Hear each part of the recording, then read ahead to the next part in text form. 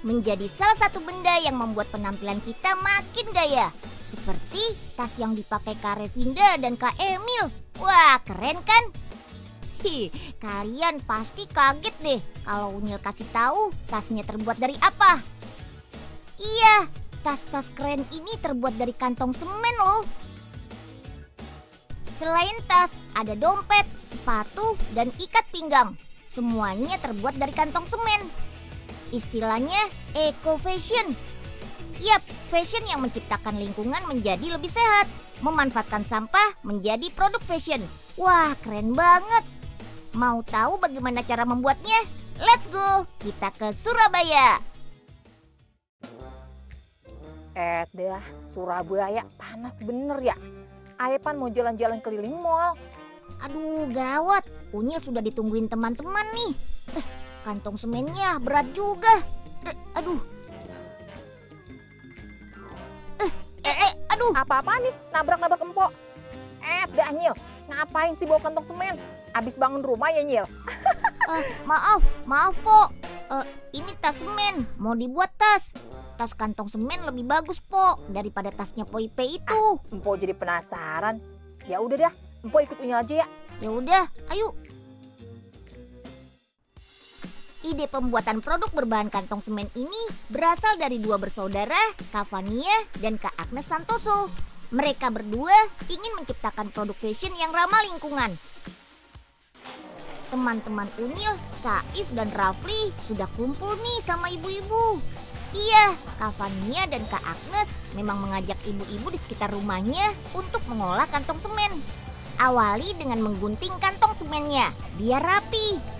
Oh iya, kantong semen dipilih karena kuat, daya tahan bagus, dan setelah diproses bisa seperti kulit. Eh, ayo Saif, bantu Ibu Nurul bersihkan kantong semennya. Untuk mendapatkan kantong semen, Kavania bekerja sama dengan kontraktor di sekitar Surabaya. Loh, kok dipelintir-pelintir sih? Oh, ternyata ini satu cara untuk memberikan motif saat pewarnaan nantinya.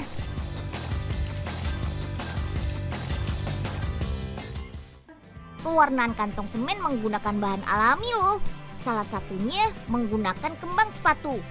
Yap, kembang sepatu ini akan memberikan warna merah yang alami loh.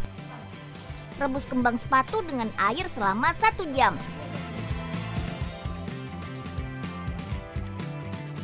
Setelah satu jam, masukkan gulungan kantong semen ke dalam rebusan kembang sepatu. Perebusan kantong semen ini butuh waktu sekitar 10 menit.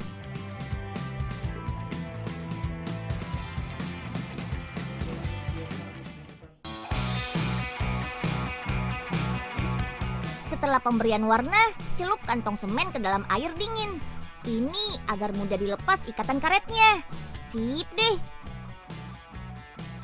Tuh lihat, hasil pelintir dan gulungan kantong semen bisa memberikan motif yang unik kan? Lanjut, jemur kantong semen sampai kering.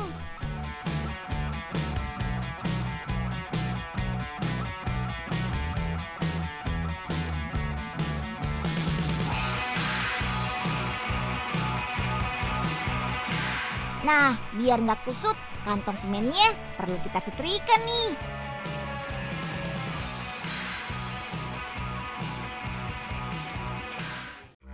Si Unyil bukannya bantuin ngejemur, malah ngilang tuh bocah. Kayak jemur baju aja nih. Dikeprek-keprek biar tiris airnya. Aduh, aduh. Ih, Poipe, hati-hati dong.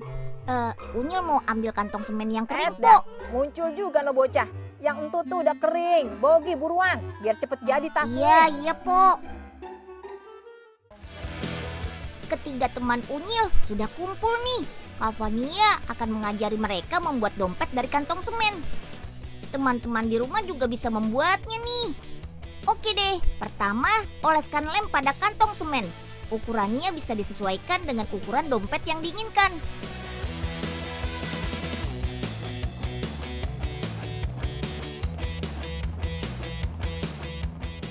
lalu tempelkan karton di atas kantong semen.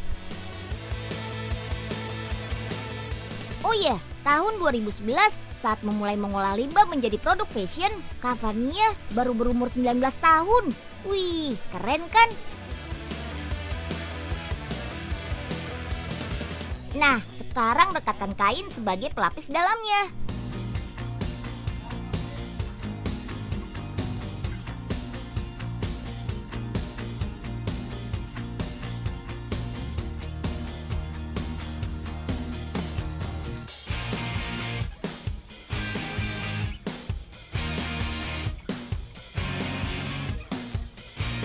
Untuk bagian samping, pasang kantong semen yang dibentuk seperti kipas. Gampang kan?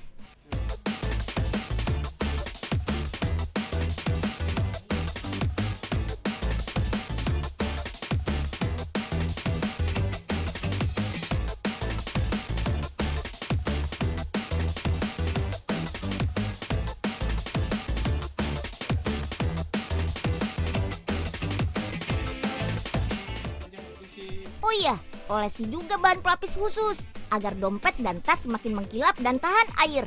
Mantap!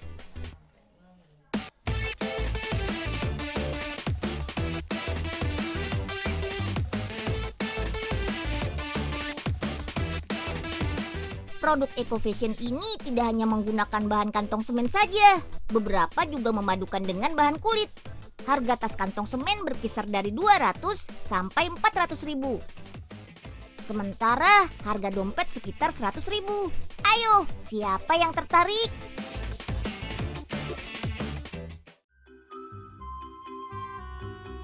Kalau begini pan, Ayah jadi makin pede ke mallnya. Udah empo-ipe cantik, pinter gaya, ditambah lagi pakai produk ramah lingkungan. Iya, iya deh. Eh, kalau gitu, Unyil ikut dong ke mall, Po. Aduh, jangan ikut Daniel. Empo mau jalan-jalan sendiri. Uh, Po Ipe nih, giliran sudah dapat tasnya aja, ninggalin Unyil. Uh,